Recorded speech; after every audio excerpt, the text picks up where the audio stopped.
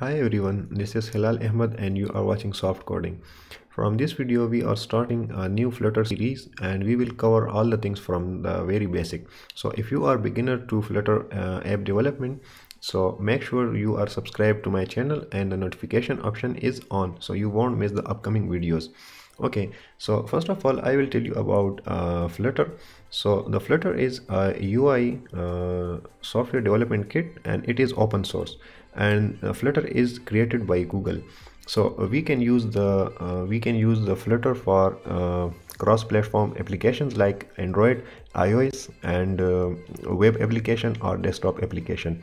And with the current version of uh, flutter we can also develop two uh, two dimension game 2d games okay?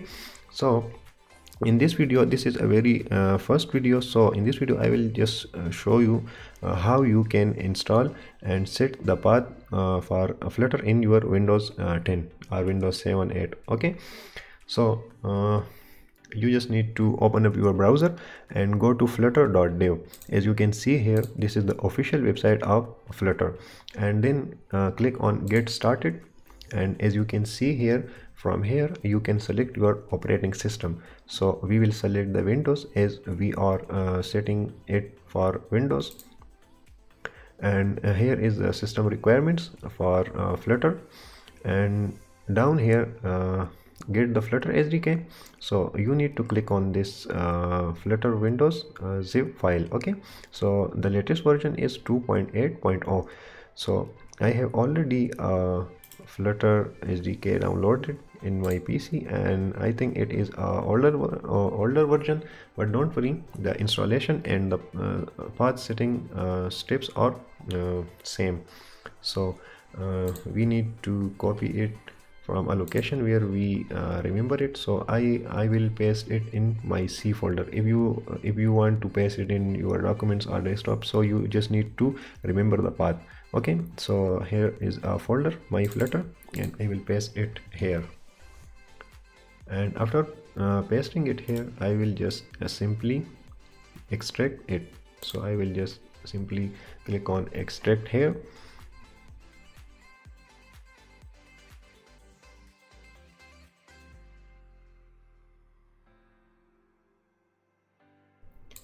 okay after the extraction is uh, complete uh, you need to go to the flutter folder and then go to the bin folder.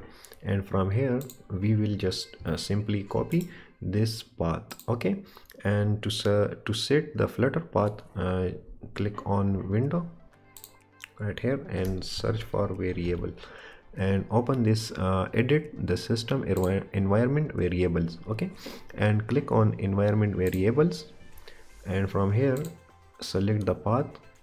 Okay as you can see here user variables for hilal okay? And uh, click on edit. And here click on new and just paste that path here okay? And now click on ok and the path the path is uh, set for flutter. And uh, i will just simply clear this and to check if the flutter sdk is uh, configured correctly or not so simply run the flutter doctor command here and hit enter. Okay i need to reopen it i think.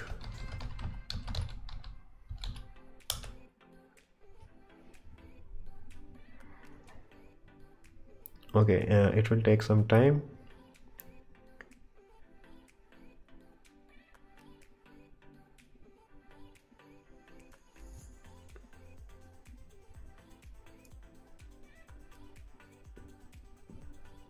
okay guys as you can see here i have uh, older older uh, version.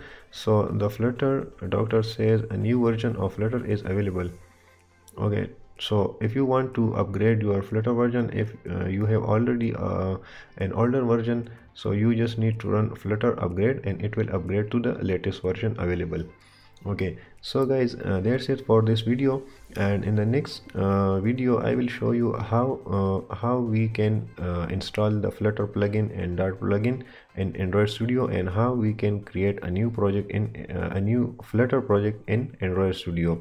So please make sure you are subscribed to my channel